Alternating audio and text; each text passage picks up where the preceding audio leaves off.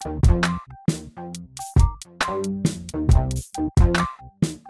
here with the Digital Digest, and today I wanted to share a comparison between the brand new Sony a7C on the right and the a6500 on the left. Now these are two very different cameras. We've got a full frame camera on the right, whereas on the left we have an APS-C camera. But what they do share in common, other than the fact that they both, of course, are Sony interchangeable lens mirrorless cameras, is their form factor. And that's part of the beauty of the brand new a7C. It was Sony's attempt to get uh, full frame uh, performance and essentially all of the nuance and niceties of their latest and greatest tech into a body that is of course, more APS-C centric. And when you look at these two cameras, you can see that they really aren't that much different in terms of form factor. Yes, the A7C is a little bit thicker, a little bit heavier, but it also does have a new battery type. Uh, in this comparison, the best uh, I would have hoped to have offered all of you was really to compare the A7C directly to the A6600, but since I don't have it here, I can only do that in spirit. I mean, I have reviewed the 6600, so through the course of this video, I will be talking about that, but really this focuses on if you're considering APS-C versus full frame, now that we have a camera like the A7C, I believe you should go all in and get the A7C. The reason I say that is because, yes, it's expensive at roughly 1800 US, whereas, you know, the A6500 now is, I think it's around a thousand US dollars, uh, plus or minus. Uh, of course, the A6600, I believe, is still a little under 1400. And if I was going to pick an APS-C camera right now, it would be the A6600. But the fact that they're so close in form, form factor, not that far apart in terms of price, of course, getting the brand new offering that is full frame has the benefit of the fully articulating flip out LCD screen, uh, getting the benefit of having the full frame sensor, even if you were to never use a full frame piece of glass. And I say that because, again, if I'm truly comparing uh, the A7C to its APS-C counterparts from Sony, uh, let's say you already have an A6500 or 6600 or 6400 or 6300, you know, it goes on. You probably already have APS-C glass, kind of like this little uh, ultra wide angle zoom lens, which was one of my first favorites in the APS-C lineup. Uh, expensive at its original retail, still sits at, I think, 900 retail, but often on sale for 8 and it produces amazing results. And look at how small this F4 piece of glass is. But that's because it is designed for APS-C use. Now it does, oddly enough, function in the full frame world, but with a very limited window in that 10 to uh, 18 range. But when we talk about using wide angles on the A7C, that's where all of a sudden we are reminded full frame is going to require full frame glass. Now, uh, I say this because Yes, an APS-C lens, not just this one, but any you might have, can be adapted to this camera. It will natively mount. It will shoot in a cropped mode, so you will not get uh, the full benefits of the sensor. And those lenses will work. You'll still get great images. I know, I've tested it. The A7C is a little gem. It isn't the best camera on the market, but if you're looking for the best performing camera in its form factor and I would add at its price point, really checking all of those boxes, then it's probably the right camera for you. But part of the reason it was introduced with this new kit lens, which is a zoom uh, lens, and I'm not really impressed by the zoom lens, but what I am impressed by is its size because it's 28 to 60 millimeters, which is an odd uh, range to begin with. But keep in mind, look at how compact they kept this lens. I mean, it's smaller almost the same size as uh, the 10 to 18 f4. Of course, this is not full frame, but this is. So it's really bonkers that uh, Sony was able to make a full frame piece of glass that is this small. But I'm not shocked because they already have several full frame lenses, even some primes in the older stable from the very beginning of full frame uh, cameras that were fairly small. But if you're going to use their current glass that exists, uh, then you're looking at something like this. You want a wide angle zoom option that's comparable to the f4 10 to 18. You see the size difference. And so this is where I really br bring us to that question of do you want to have really large lenses on an A7C? And that's where, even for me, it presents a little bit of an issue because the beauty of the APS-C lineup was that you could keep glass basically you know, in proportion to the body. Now we've got a camera that has miniaturized the full frame experience, 4K 30, real-time tracking, amazing autofocus performance, essentially that of the A7 Mark III full frame uh, sibling, but with real-time tracking that it doesn't is is not as it's not available, it's not pre uh, prevalent in terms of the amount of features you're going to get here with the A7C. Uh, you also, of course, as I mentioned, have the new flip out uh, display, which is another nicety. The relocation of the video record button, which on APS-C bodies was relegated to the thumb grip for oh so long, too long. Uh, and the at the end of the day, you're going to need to really put on large lenses because let's say you don't consider this to be up to snuff, which is the f4 Zeiss 16 to 35 full frame. Well, then you're looking at something like a G Master. This is the 24 to 70, and it's not that much bigger, but we're getting even larger. So the point is, is what do you expect? What is your takeaway from the full frame experience? I look at it that if you're in the market right now for APS-C and that fits your budget, the A65, 66, 6400, those are all great options. But if you can afford to take a step into the A7C as opposed to these older uh, APS-C cameras, the A7C is worth every dollar because as I've mentioned, you can shoot all of those smaller lenses. Sony has promised to launch more uh, lenses specifically for this new form factor uh, that they've put out. So that's promising as well. But, you know, I don't expect to see true development, a full fleshing out of the lens lineup, if you will, for quite some time. So this is an early adopter camera. It also isn't if you're willing to work with the bigger lenses. So that's that's a real big difference. But when it comes to stabilization, both have five axis in-body stabilization. And then if you're shooting with a lens that is optical steady shot, that is yet another benefit, but this also has active steady shot. And that is something you will not find in the 6500. You will find it in the 6600. And that is really good if you're looking to not achieve gimbal-like stabilization, but at least get closer to run and gun stabilization that isn't going to make someone want to throw up because you know the five axis stabilization is better than nothing. Uh, it's not game changing but the active steady shot does bump us up into a tier where now all of a sudden handheld footage in many instances depending on operator i'll say error or success could make something look like it was truly on a gimbal. Now if you're going to just run around and you know be haphazard even active steady shot can't correct that sort of incompetence.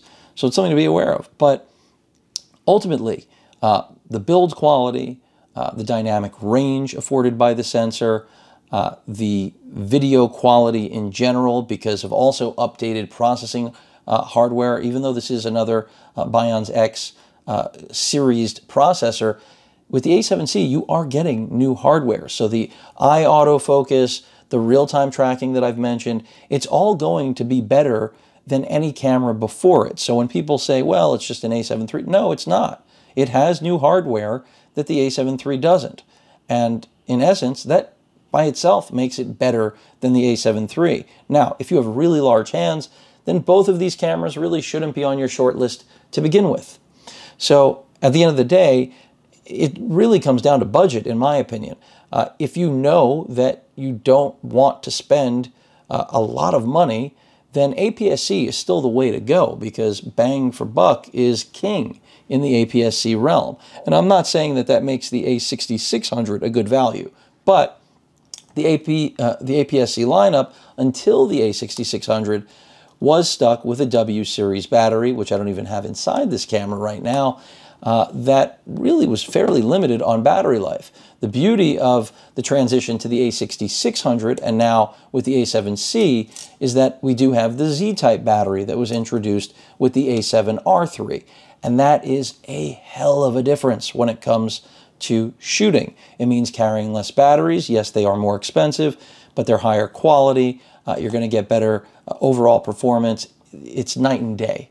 I mean, it's roughly nearly four times the battery life of what you would get in W series with APS-C cameras. Now, as I mentioned, the a6600 is the one exception in Sony's APS-C lineup that does have that benefit. Uh, something else I'll point out here uh, that doesn't exist on the A7C is we do have a flash. But, you know, how important is having that flash? I mean, anyone who is shooting uh, at the level where they're ready to drop 1800 on a body as opposed to a little over a thousand. When this retailed it was a little over a grand.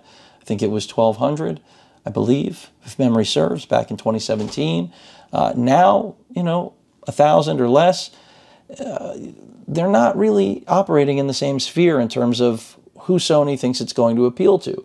And then if you do want to mount uh, a flash you obviously can uh, you can mount a microphone, a lot of options, a lot of versatility. Um, you know, it's just, it's a different animal. So uh, even the weather sealing system is completely different. And that's the beauty of the A7C is that it's not just that they shrunk down a full frame camera into an APS-C type body, which they most definitely did, uh, but you're getting all of the current technical and hardware upgrades that really only exist in new models and is true of anything that's new and anything technologically related.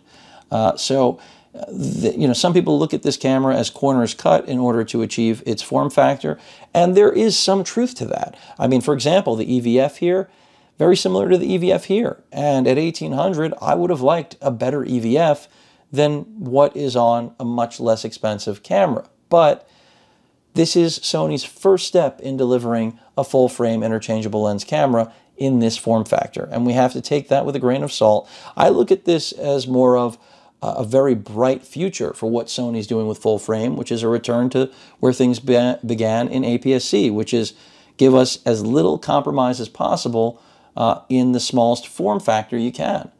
And, you know, really all began with that NEX7, if you can remember that far back to 2012, which was an amazing little camera, only had contrast, uh, autofocus. Oh, the good old days. And now, of course, of course, both of these have hybrid systems, but the system that lives in here is just night and day. I mean, you would never, if you could time travel back, you would have never thought that Sony would all of a sudden become king of autofocus with their A9 series, but they have. And of course, the A7C, much like the A7R4 and of course the A7S uh, Mark III, are all sort of offspring of that amazing autofocus capability. So while many Sony cameras can claim to have eye autofocus and real-time tracking, I assure you the best performance is going to come from their latest models because they benefit from, again, the latest hardware, this camera being no exception.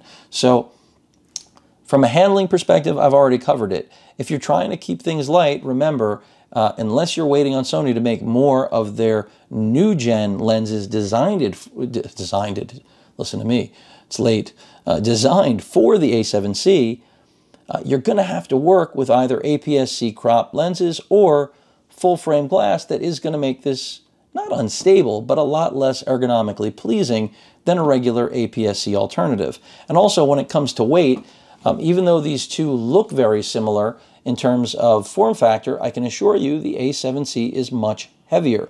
Is it a world of difference? No, but it's absolutely um, at another level. Uh, I mean, you can just, you see the bottom, you, you just see the chassis, how thick it is. Now, when it comes to video, another thing I want to point out is that, uh, and I'll refer to the A6600 here rather than the 65, because it is really the more current, the A6600 uh, is not free of overheating issues uh, like all of Sony's uh, current cameras. I'm speaking specifically to video usage, although it's possible even with still. I've had my moments out in the desert. Uh, Masada was one good example where my A7R III took a crap, and that was in mixed use, so it wasn't because I was shooting a feature film. Uh, but conditions can do that to any manufacturer's camera. But when it comes to these two, Again, I'm going to pretend this is the A6600. The A7C is going to be far better at managing the heat than the A6600.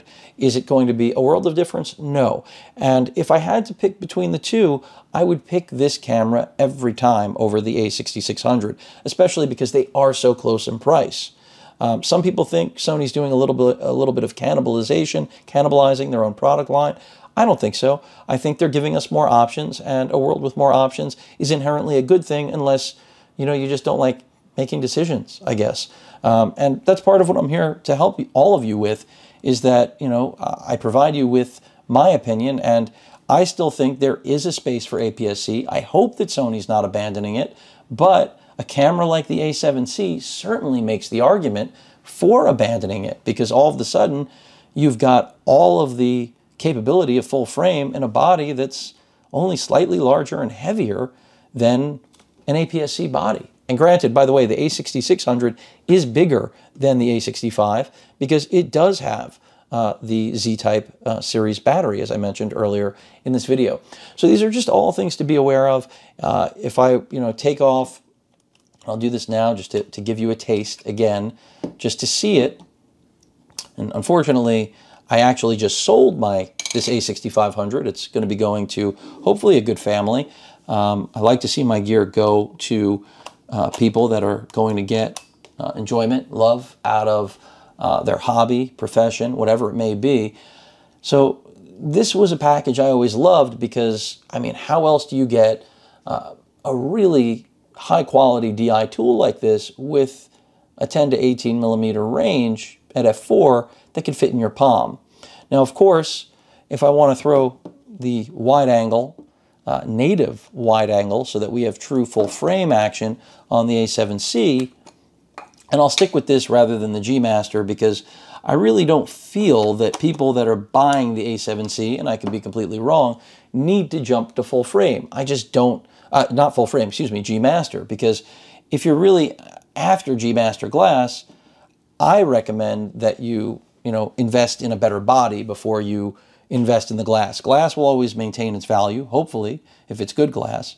But, uh, you know, putting a G Master on a $1,700 body, it doesn't rub me the wrong way, but it kind of, you know, if it's your first, you know, full frame camera or it's the first time that you're upgrading from APS-C, there's nothing wrong with starting at these Zeiss uh, f4 lenses and a lot of the G series glass.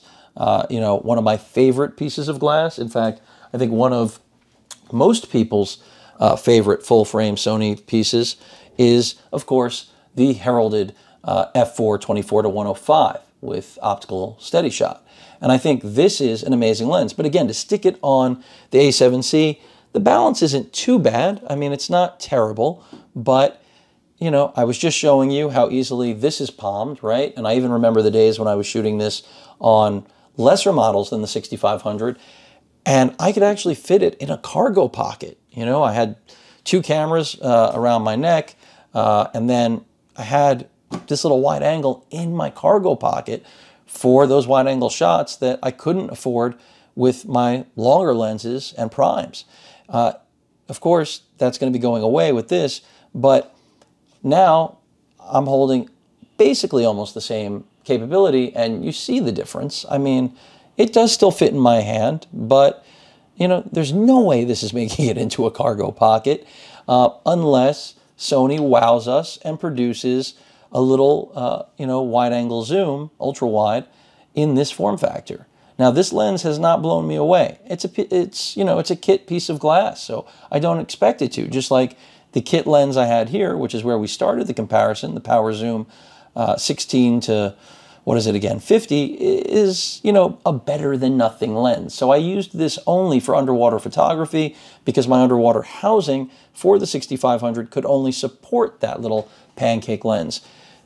That's another thing where I see the A7C being an advantage. So going forward, if I were to purchase one of these, which right now it doesn't look like I will, it's just not something I need. If I didn't have the cameras that I do have, then it would be on my short list, no question you know, you think about having that, you know, this lens in particular on here, which again, optically is not a gem, but for an underwater solution to be able to throw this in an enclosure and have a full frame camera with zoom capability, granted it would not be power zoom, um, but if you have an Ikelite or you know one of those higher end pro grade uh, underwater enclosures, having this sort of capability in an underwater environment is amazing. I mean, I was really impressed as an amateur, a hobbyist, the first time I got to shoot APS-C underwater. So you all have to know that the idea of shooting full frame with full frame glass um, is just something I aspire to one day uh, when the pandemic is not cock blocking. But we're not there yet. Uh, but again, this all comes back to is it worth the difference? Well, I've answered that question. In my opinion, in every way, the full frame offering is worth uh, the extra money. However, as I said, if budget is your primary uh, driver, you're not going to be unhappy with the APS-C uh, lineup of cameras. Basically, the A63, 4, 5, or 6600. Autofocus is very good on all of them. Of course, it's different from model to model. 6400 is where we finally got real-time tracking uh, for video. That's a big deal. Don't kid yourself. If you don't shoot video, you may not care. The eye autofocus integration was a game changer. Uh, so uh, the APS-C lineup still has very good legs, but if you're paying retail right now, and this was the 6600 and we're talking about 1400 US versus 1800, I would absolutely every single time tell you spend the extra 400, get the A7C, get their latest and greatest, and even though the ergonomics aren't going to be the best in town, you will have a better camera overall.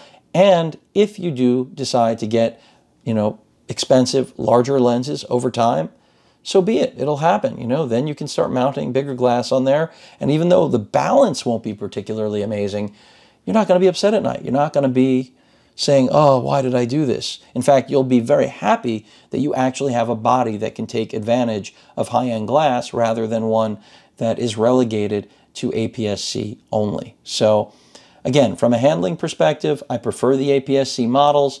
Uh, they're light, you won't get back strain. If you're traveling, if you're even doing professional uh, shooting, of course that depends on what kind.